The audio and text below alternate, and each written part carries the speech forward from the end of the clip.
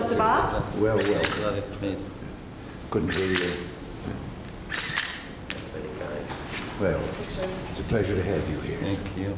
And also His Excellency Archbishop Mr. Pio President, it's a great pleasure. Well, good to see you. Thank you for receiving us. I have noticed that you have been with us two days ago in Philadelphia, and Yes. yesterday, yesterday it was beautiful. Yes, well, thank you. Maybe we should get a picture of all three of us. Yes. We- I No, think you, I yes. guess you should. And then, then, yes. No, no, I wanted you to be the middle. Yes, no, this is, Well, thanks. That's very good. well, Okay. with the attitude, I know that it's very difficult, the situation in the Middle East and what you're faced with there, but I want you to know that we still have as a major call uh, eventual peace in the Middle East, and one that would recognize the legitimate political rights of the Palestinian people. And while I only have a few more months to continue attempting that, if the election turns out the way I think it will, should, I think that will still continue to be our cause. Oh, that's. Well, I want to tell you, Mr. President, about the situation now. Well, the actual situation now is very hard for us. Uh, something not know what can be done for even the actual days. But the problem also for us is a problem of uh, Christian uh, presence in the Holy Land also. While I am Palestinian, I am the patriarch of Jerusalem also, and therefore I am, I care for everybody in the Holy Land, for the Jew, the Muslim, and the Christian.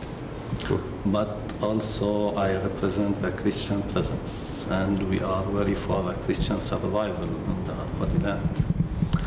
And that means that our Christians being 98% Palestinians, Palestinians, 98%. their survival is tied with the survival of the Palestinian people and with their legitimate rights, as you said.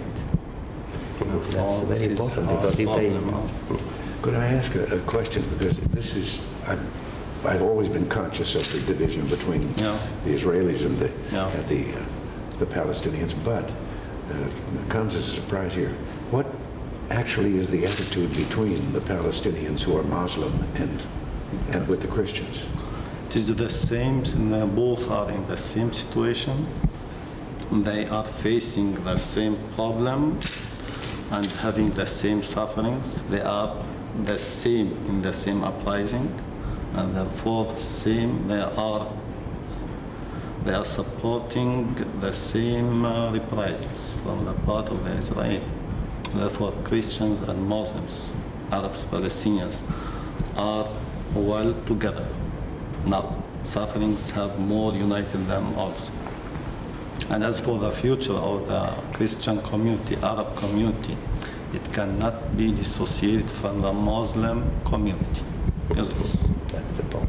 You could say that there are 3 million Jews from one Yeah, side, about, yeah, so, 2 million more or less Muslim from the other side, and 100,000 more or less, 150,000 Christians. Because I always Yeah. assumed that the Muslims normally thought of, of Christians as unbelievers. Yes, yeah, but this- well, but indeed on the, the daily life, we are living together. Sometimes we have hard times, but it is like hard times between brothers. So we are brothers, useless, and we cannot, we cannot dissociate ourselves from a Muslim world. It is our culture, our people cannot. We could say this, uh, Mr. President, that between Christian and Muslim is the relationship between cousins. Between the Christian and the Jews is the relationship with, as in the law, in law, mother-in-law. So sometimes the relationship with mother-in-law is more difficult than the cousins. Well, The image is so. well, we're very honored to have you here. Thank you, Mr. President. Thank you very much. And we hope you will do something Yes. We'll for the trying. Holy Land as a whole, for the Palestinian people, as for the Jewish people, we say, because both are human beings, both are have the same rights, and both can have one land and one land. See? We had a very nice conversation with uh, Secretary Shultz. Very Well, nice. that's fine. So, thank you. Thank you. Thank you. Thank you. Thank you. Thank you. Again, Your Excellency, good God bless you. you. Again. Thank you. Say hello to Nancy. Thank you. Thank you. How are you? My pleasure. Yes. Hello. Thank you, Mr. President.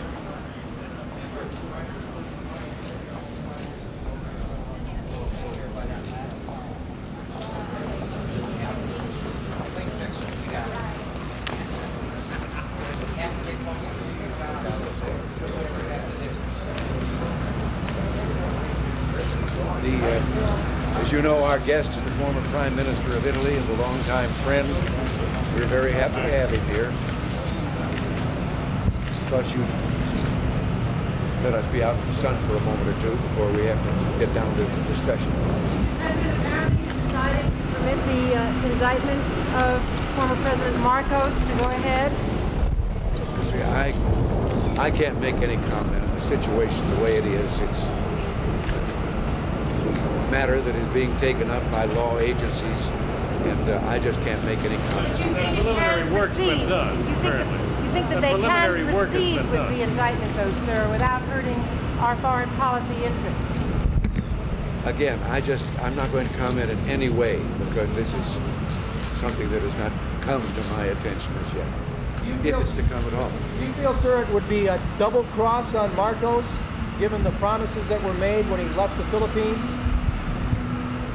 Again, you're finding ways to ask, and I just, I just don't want to get into that subject at all because it is something that may not come to my desk at all. Well, would it violate, sir, any promise that you made to Marcos indirectly? Again, I welcomed him to our country here when he left the Philippines. Uh, beyond that, I just, I can't comment. Did you promise to him that he'd have safe haven from any kind of prosecution here? I couldn't have made a blanket statement of that kind. I don't know what situations could have arisen or in his relations with his own country. What did you talk to Mr. Craxi about, Mr. President? We're going in and do the talking now. He just arrived. We've just come out here. President, are you upset about the stories of, of some down. Americans not in the the government mics. trying to do a deal with Iran? Put the mics down. I'm always upset about something of that kind. It's, uh, it is no help and it clouds the situation. And if anything, endangers the efforts that we continue to make to get our people back. Do you have any concern that anyone in your government at a low level might be talking to them? I have no knowledge of anything of the kind. Mr. President, are you now secure enough in the idea that Bush is going to be elected that you can start emphasizing helping senatorial candidates more than you might have planned a month ago? No, I've always planned to help them. I had a friendly Senate to begin with, and I would like him to have it. We couldn't have made the economic progress we've made if we had not had one House on our side. At this point, do you have any doubt George Bush is to be your successor? Shake hands, Mr. President. At this point, do you have any doubt George Bush will be your successor? You know me, I'm not going to jinx anybody that's pitching a no-hitter. Are you rooting for the Dodgers, Mr. President? Are you rooting for the Dodgers? Boy, if I were just an ordinary citizen, I sure would be.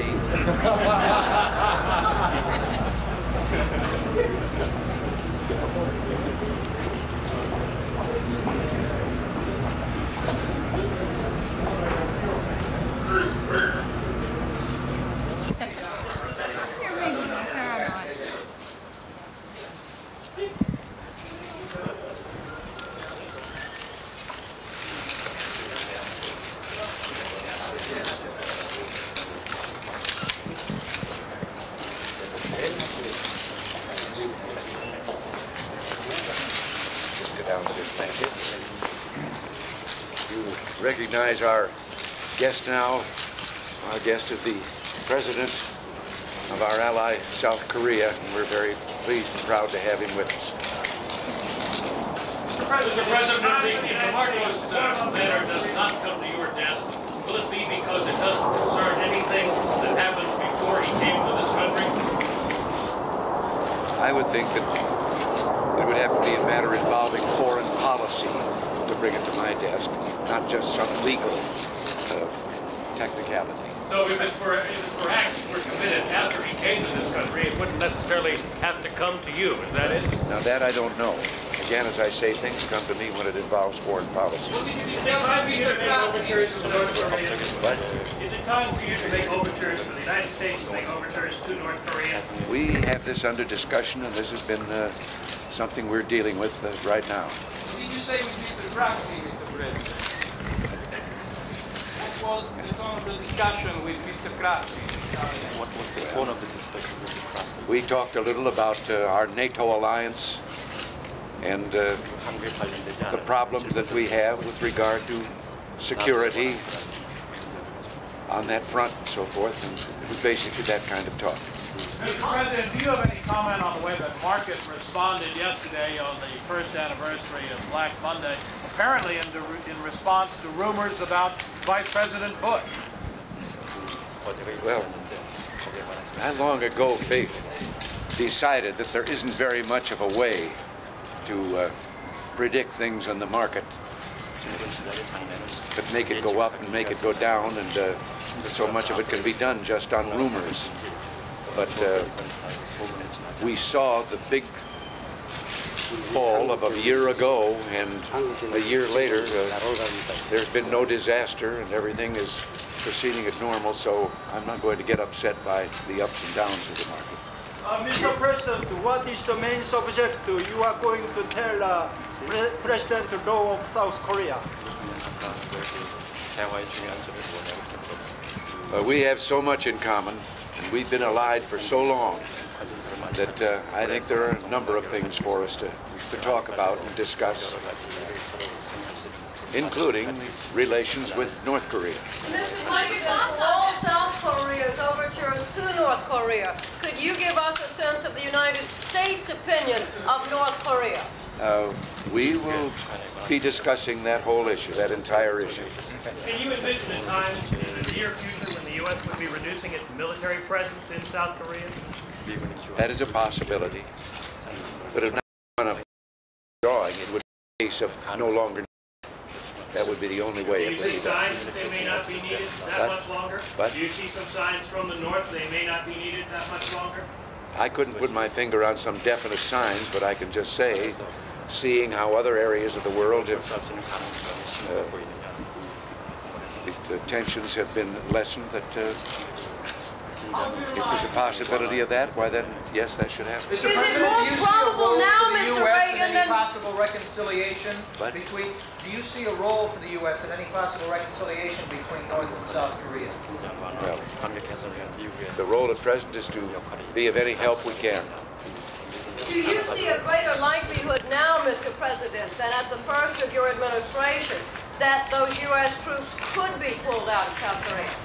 Well, there have been a great many changes over these eight years, and uh, I think it's possible to see some things that we couldn't foresee then.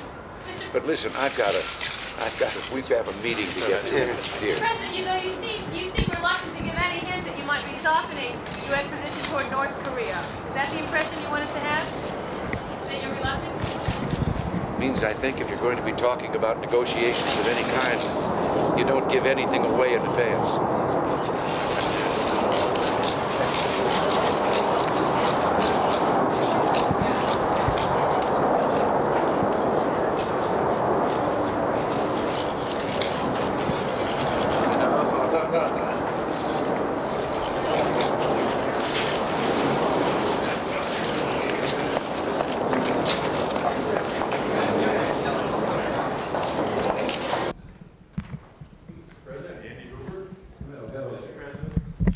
Good to see you, sir. Well, good to see you. I'd like you to meet Peggy Ann Brigham. Brigham. Who is a Brigham, who is a Hoover. Thank you. Well, George Nash. well, hello there. How do you do? Good to meet see you. you. Forbes Olberg. Mr. President. Hello. Nice to meet you. See you. Jerry All Milbank. right, Mr. Well, President. Jerry, hi, Nice to see how are you. you? Whoops. And Jack Brauntuck. All right. See you again, Mr. President. Hello. See you. See you. Well, Mr. President. would you like to have a group picture? All right. Love to. All right. I should. Should I be the little nose between all these lovely Why don't we get pictures? the three of you on the other side, right? Sure. Three on the other side.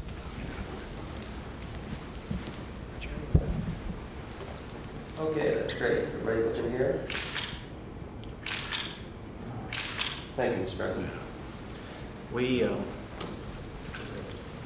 George Manish has authored a book on my grandfather, the second volume of what will be a five or six volume series. And George would like to present a copy of the book to you and has a few things he'd like to say. Mr. President, uh, 24 years ago today, Herbert Hoover passed away at the age of 90. And during his life, he spent 50 years in public service. And what I am attempting to do is to do a multi-volume biography of him, documenting his many contributions to the United States. And in this second volume, I begin to consider his career, great career as a humanitarian in World War I in helping the people of Belgium. And it has been said that he saved more lives than any other person in history. And I begin to document that in this volume. It's a great privilege and honor to be able to present it to you. Well, I am very honored to accept it, and I thank you very much. That's very kind of you. Having lived long enough to be aware of that period back there, I very much know about his, uh, his great work in Europe there. There's never been anything like that, I don't think, for, for a single individual to be in charge of, as he was of that, single-handedly almost. Yes, it's a remarkable story. Here, I'm telling you the story. Mr. President, Mr. Olberg would like to say just a few brief things about an invitation that he'll leave with the office here. Yes, uh, Mr. President, uh, next October, the uh, Hoover Library, in conjunction with the Ford and Carter Libraries, will be undertaking a study of the ex-presidency. And as uh, President Hoover said, this is my exclusive trade union. We know that you'll only be nine months into that uh, position and undoubtedly are not making any commitments at this time. However, we would like to leave this letter uh, with your uh, staff and, and hope that perhaps next fall you would consider taking part in that. Well, thank you very much. You were absolutely right about not being able to make any commitments at this time. But I, well, I appreciate that very much. and Might as well be a member of that union as all the other. It's it's a fine one. Thank you. Well, thank you. Thank you. Thank you very much. Thank you. Thank you. The Hoover Institution out at Stanford University is uh, the possessor of all of my governmental papers as governor of California. As a matter of fact, it was an astonishing thing when I went over there for the reception of them. I don't know how many tons there were, but I think it was 27 tons, and there were great big stack of these cardboard cartons that you get and put together for things of that kind. And right in the middle of the stack, with all the cameras cranking, apparently we had fallen one box short. And the box in the middle was a Daniels whiskey. With the words very visible and sizable.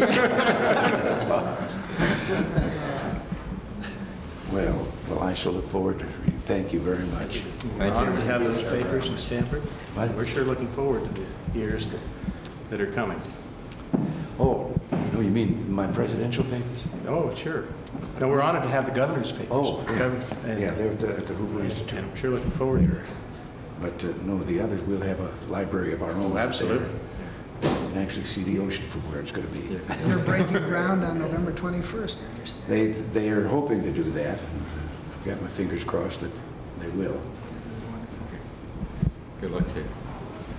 Thank you. Thank you again. Well, listen, thank you all very much.